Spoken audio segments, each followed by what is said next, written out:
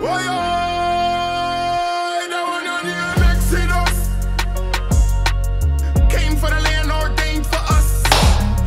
afternoon, good morning, good evening, whatever time you have decided to view this video. But what I got, I got a video for you. It's a little complex because most people have heard this and they have thought about the literal part of it and not overall, okay, or what it means, the esoteric part of it.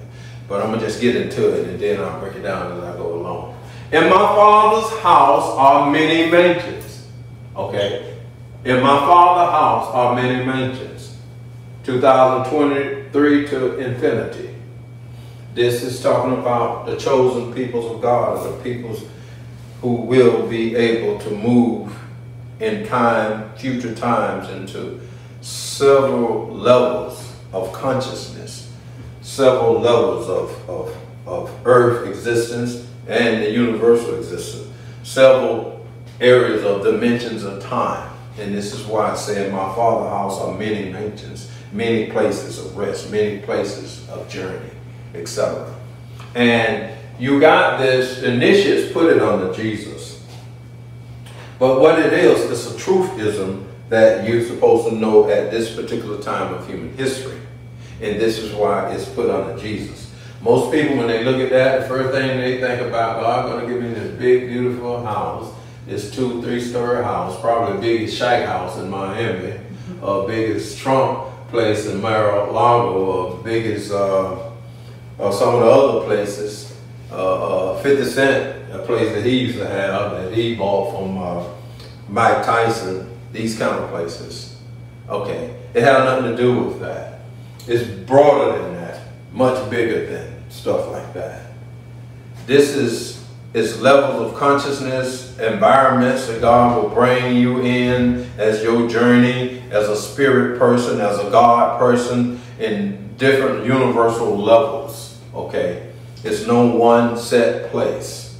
And he's telling you about that. And the initiative is talking about it.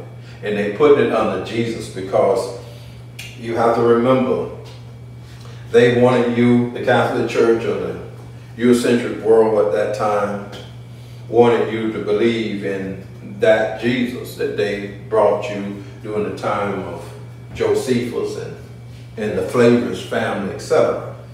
And that was uh, what the Catholic Church wanted you to see. So by them doing that and you reading the Bible literally, that's who you have seen, that Jesus that Eurocentric Jesus or that, that Jesus that they were you uh, said that came 2,000 years ago, they wanted you to see it under him. But by being initiates, you see beyond that because initiates know the real truth. And so you need to be initiate to translate it so you can see what those initiates were saying because they did not want to disturb the, the Vatican and their power so they wrote it in a coded language, in an esoteric language.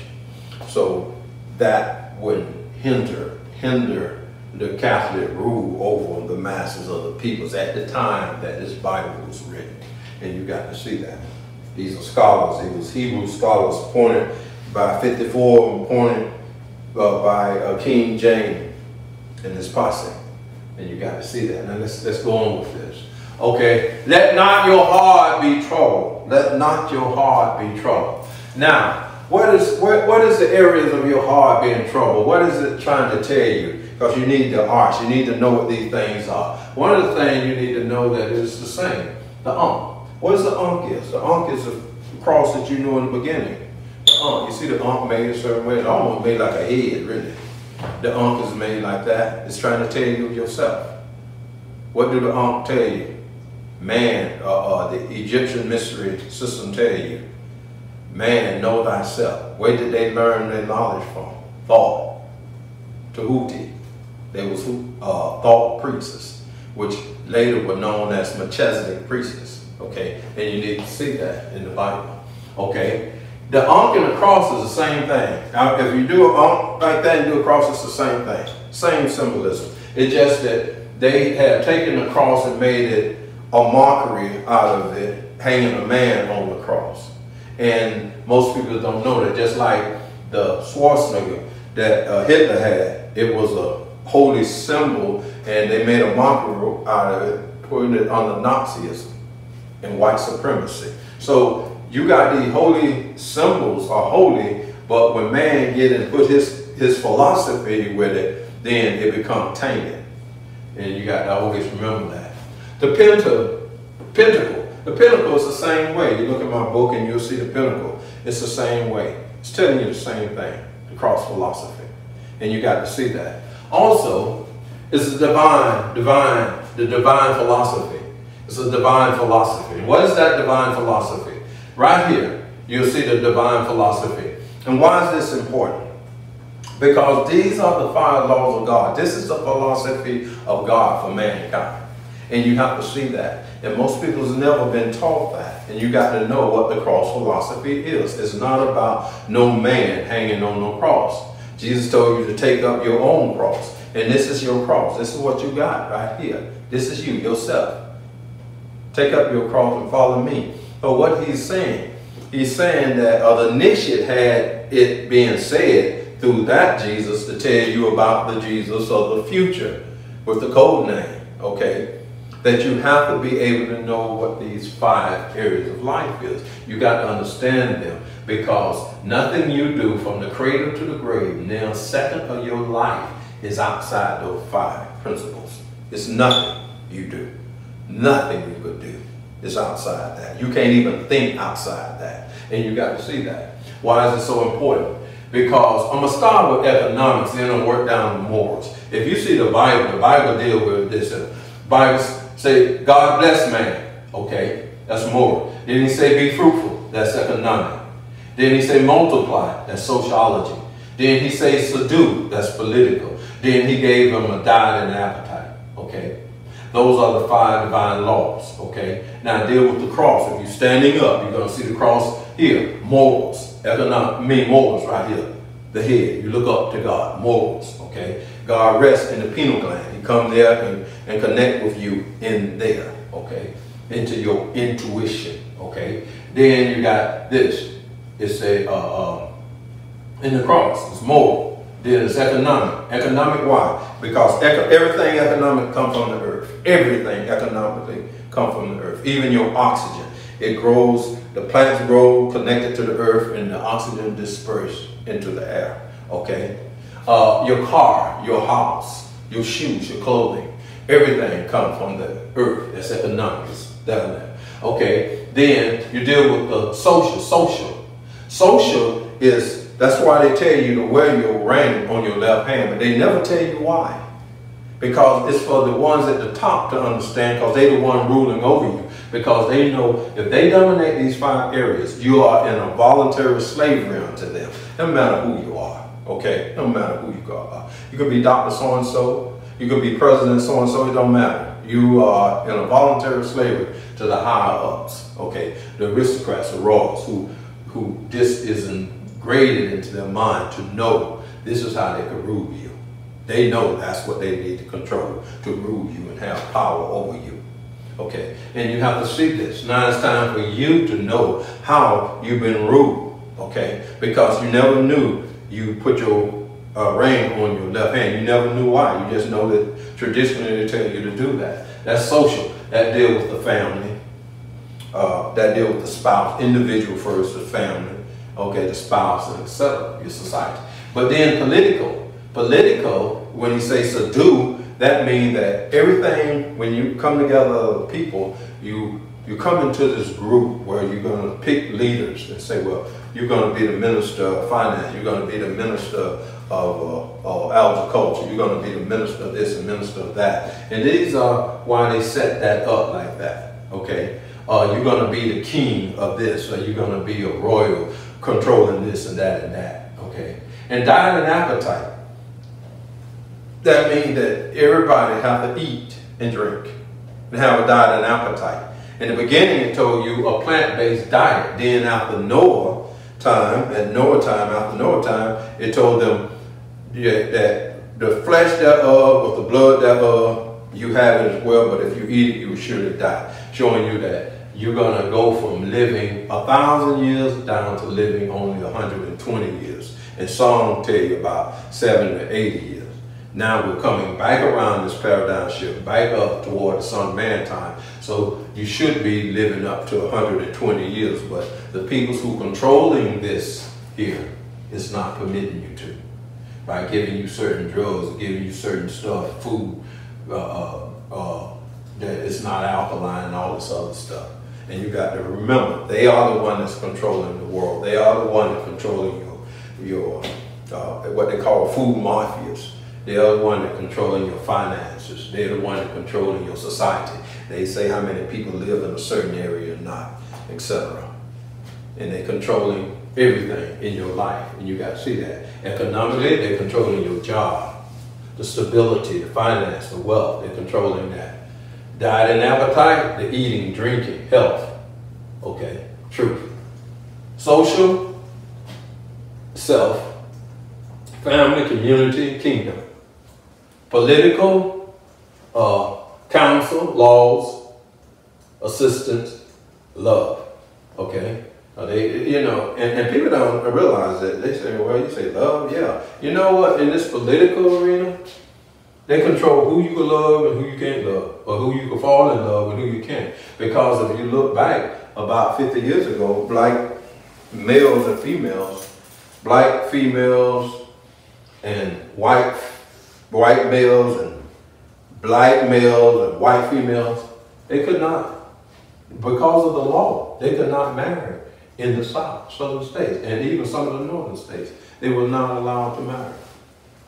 In some countries, certain religious people couldn't marry other religious people. Muslims weren't marrying Catholics and all this other stuff. But we're talking about America now. See, this is a very powerful thing to control. Morals is extremely powerful. Unity with integrity, oneness, God. See, when they tell you that there's a man named Jesus, he's God, the Almighty, he's a creator. Okay, and they just create him out of thin air because someone come up, some rappers come up that he gonna, uh, uh, come up that he gonna make a, a, a, god that pleased the Egyptians and the Greek, and he come up with, with Serapis. And later the Romans come up with Mithras, and later the other part of Romans, the Flavians and etc. come up with Yahshua, uh, uh, Jesus the Christ. And see, you're not seeing this thing these creations that man did, and they got you bowing to them and worshiping them. And you got you believing in this and that. Jesus is a code name, okay? And they would never tell you that. Jesus is a code name to Louis. That's why they named their French king Louis, like Louis 14th, what that means, the Sun King.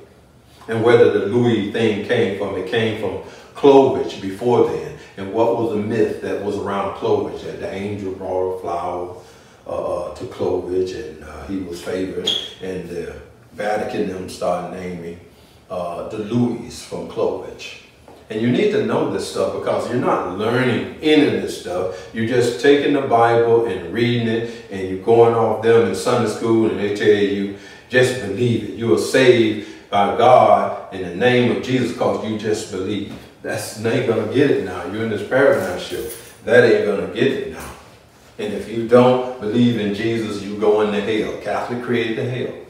You ain't have nothing about no hell before the Catholic created the hell, but you you swear that there's a hell because they tell you there's a hell. Okay?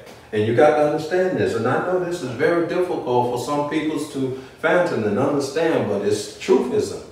You got to go do your homework. You can't go and just read some book come from your church. You got to go and dig, people. You can't just read books just come from America. You got to read and see what the other peoples of the world were saying about this. Before America existed, you had nations like Spain. You had a nation like France. You had Britain. You had Russia. You had uh, China and all this other stuff. It's a lot of information that's necessary to build your consciousness that you could be able to see truthism. You cannot just believe what somebody say and run with it without any any checking checks and balances. It just don't work like that. Now, I'm not trying to rock your boat if that's not what you want, But if it's not what you want and you come against what I'm trying to say and not trying to check me and see the truthism, then you're not going to make it to no promised land, my people. And it's right around the corner. God done said what he said in, in, in the other election. You ain't going to make it where you think you're going to make it to because of your heart. You got to get your heart in line with what God wants.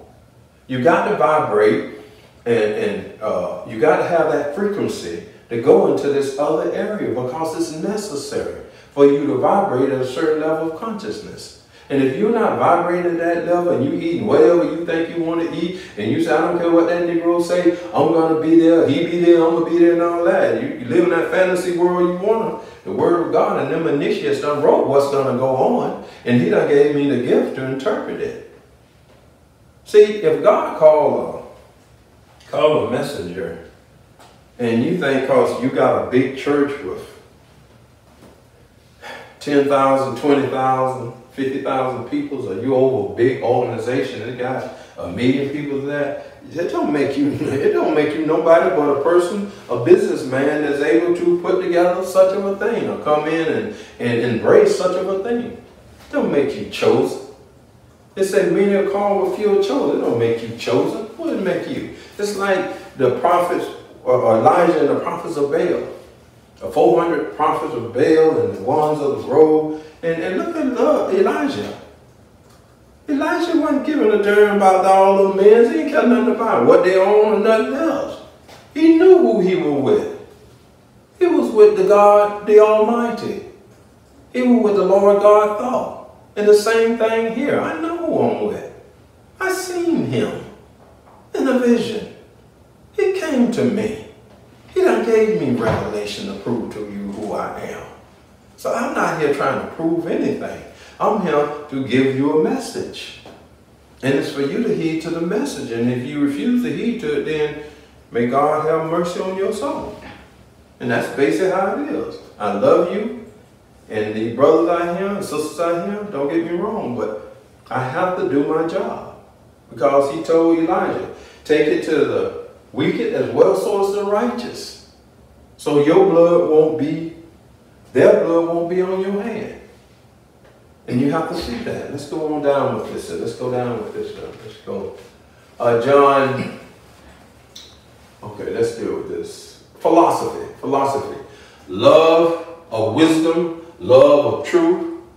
Seek to understand fundamental truth about themselves and these things are necessary. This is part of what philosophy is. You're learning philosophy. Okay? John 14, 2. In my father's house are many mansions. If it was not so, I would have told you. John 16, 13 to 15. Now be it, when he, the Spirit of truth, is come, he will guide you into all truth.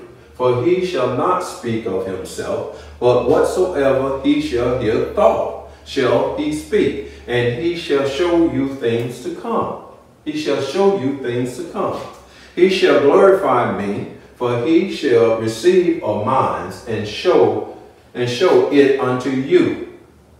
All things thought the Father have are mine.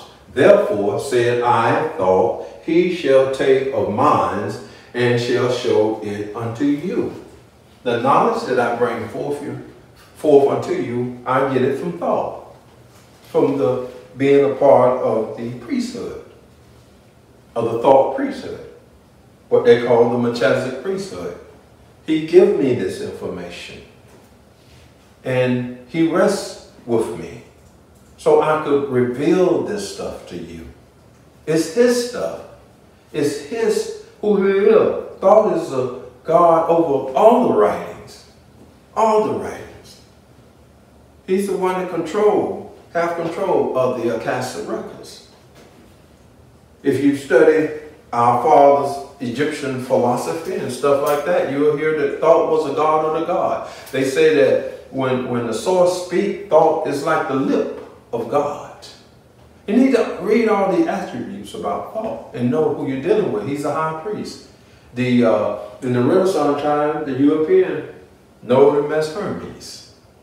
Okay? The Hebrews know them as Melchizedek. And you got to know. And there's different names in other cultures had names for it. Even the Chinese culture had a name for it. And you need to see this. It's, it's very, very, very important. Now, I'm going to give the name of the individuals that we have that you need to know that's been good and faithful to this organization.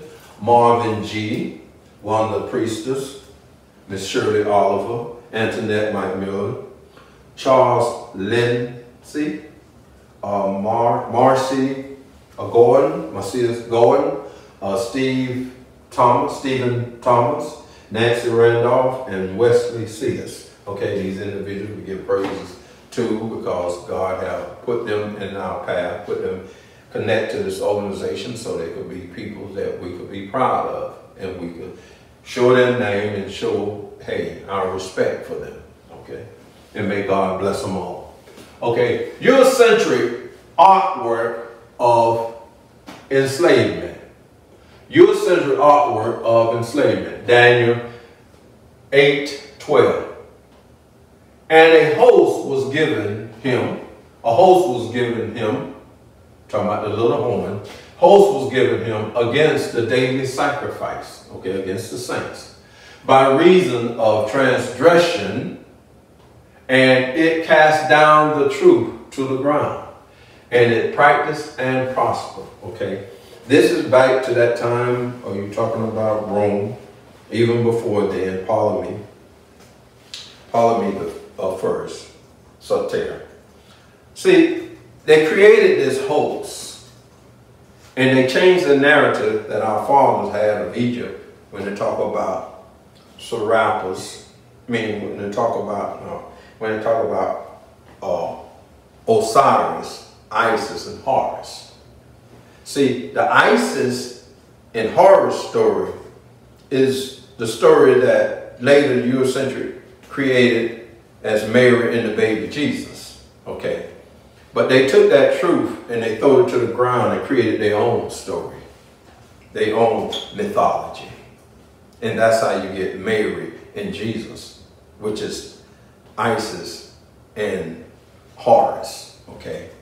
And you need to see this because it's very important. And this is what it's saying. And that's what the Catholic Church have taken that story and, and Christendom have taken that story and fed it to you today and told you just believe okay? And it was based on Egyptian mystery and Egyptian mythology. And you got to see that. And check me, prove me wrong, okay? Because this is where the baby Jesus came from. But you today in Christendom and you come in into the Eurocentric Christianity and you go and made you, built your Baptist church, your Presbyterian church, your Pentecostal churches and all this, and you just say, that Jesus, and you celebrate Christmas and all this other stuff, and you just say that this Jesus that, that Eurocentric show you, that's, that's God. That's really who it is. And, it, and the Eurocentric already will tell you, and especially Eurocentric scholar always could tell you, if they be honest with you, that this story of Jesus mirrored the story of uh, Isis and Horus, okay? And you need to see that. You got to see what's going on even the the old part of the old ancient writing uh, on the Christianity had Jesus born in a cave, but then later they changed it and said he was born in a manger. Okay, they change things when they want. They do what they want to do with it. But when you come up today and you hear it and you follow, just believe, you caught up in that madness and don't realize it. Okay, let's go on. Okay. Uh, uh, John 14, 2. I go to prepare a place for you. Verse uh, 3. And if I go and prepare a place for you, I will come again and receive you unto myself. Thought, where I am, there you may be also. Now, what is he saying here? Okay, now, the real Savior is Thoth. And they did put Thoth in there. But he left it though, you would think that this is their Jesus that they created who's saying he's going to prepare a place for you. I go and prepare a place for you. And that's where they see, you see the second coming ideology from. But this is not about a second coming. This is a time of the paradigm shift. Because Thoth always come at that paradigm shift. After the age of Pisces, he always come. After the dark age, or Satan age, he always come and set things in line for Horus, or set things in line that you will live for a thousand years. The Son of Man time. So that is not coming from Jesus' time uh, forward. That's coming from after Noah time, letting the, the uh, devil uh, uh, control his thousand, 6,000 years. Then Horus, a Thoth setting it up for Horus to control that other years all the way back round to the end of that Noah type time for the next dark age to come to exist. And it happened over and over and over again. And most people are not aware of this. So when they read that, they think, and don't use no arts, they think that this is Jesus' second coming. Okay? It's not that Jesus that they gave you, it's the other one that's coming. The one named Louis is coming. The one that the French king named their, their uh, all their Louis after. That one that is to come. The true royal that is to come. And that's what that's about. But most people don't know it. And I'm going to read it again. I go to prepare a place for you. See, God is always going to prepare a place for you, a time for these peoples, uh, these spirits to come back to this planet in progress. After they come out of that that that age, because you're going, you go, you're coming. Let's use this here. You're coming this in the possession processional equinox. This just say this is Noah time where you live a thousand years. After Noah time, you go into the dark age. You're only going to live 120 years, then you're going to live 70, 80 years in, Aries, then in Pisces, you're going to go back to 120 years. Then at Aquarius time, you're going back to a thousand years.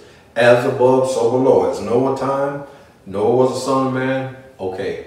At uh, the son of man time, it's a thousand years. Then you're going to increase. Because as you go that way, you're going to increase and get closer to Sirius. Sirius dump an energy out and a knowledge out way beyond anything you could ever know. You get nothing but you're going higher and higher in your vibration. You're going higher and higher in your knowledge as you go toward Sirius, etc. And these are things they never taught you. They don't teach you the art, so you will not know what this planet do at what time did it do what it does. Okay, okay, let's go on. Okay, Daniel, let's go with Daniel Okay? Okay, let's go with Daniel 7, 9.